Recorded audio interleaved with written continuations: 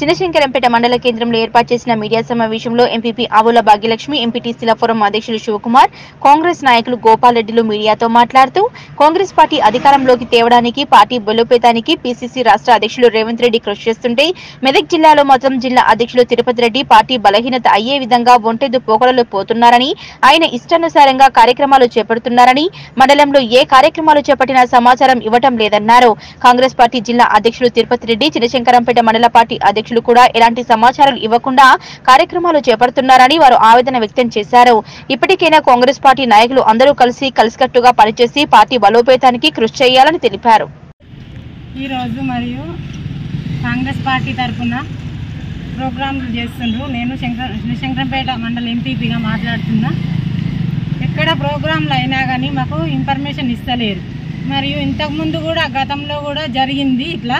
జరిగితే మరియు జిల్లా అధ్యక్షులకు ఇన్ఫర్మేషన్ ఇవ్వాలని చెప్పిండ్రు వాళ్ళు. ఇస్తలేరు పార్టీ ప్రెసిడెంట్ ఇస్తలేరు.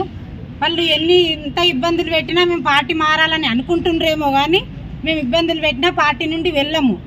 మరి కాంగ్రెస్ పార్టీ బలంపేతంకి ఇక్కడ రా రాష్ట్ర అధ్యక్షుడు రేవంత్ రెడ్డి గారు మరి రాహుల్ గాంధీ గారు ప్రోగ్రాంలు ఇస్తుంటే మరి మా జిల్లా లెవెల్కి వచ్చేకల్లా జిల్లా అధ్యక్షుడు కానీ ఇక్కడ ఉన్న పార్టీ ప్రెసిడెంట్ కానీ కొంతమంది నాయకులకు ముందుకోయే నాయకులకు ఏ ఇన్ఫర్మేషన్ లేకుండా ఒంటెద్దు పోకట పోతురు గతంలో రెండు మూడేళ్ళ నుంచి కూడా పోతే మేము ఇన్నాడు కూడా మీడియాకి ఎక్కొద్దు అనుకున్నాం మీడియాకి ఎక్కినాడు కూడా మేము పార్టీ పరువు ఇవ్వద్దు అనుకున్నాం ఇవాళ సెంట్రల్ స్టేట్ గవర్నమెంట్ స్టేట్ పిలుపు మేరకు కాంగ్రెస్ పార్టీ పిలుపు మేరకే ఇవాళ చెప్పలేదని మేము పేపర్కి ఎక్కుతున్నాం.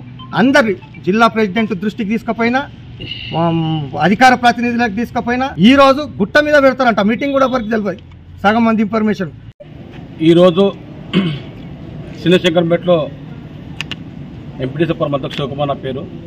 ఎందుకంటే ఎన్నిసార్లు జిల్లా అధ్యక్షుడు కూడా మేము ఈ కొద్దిగా వృధులు దొరుకుతామని చెప్పినాము.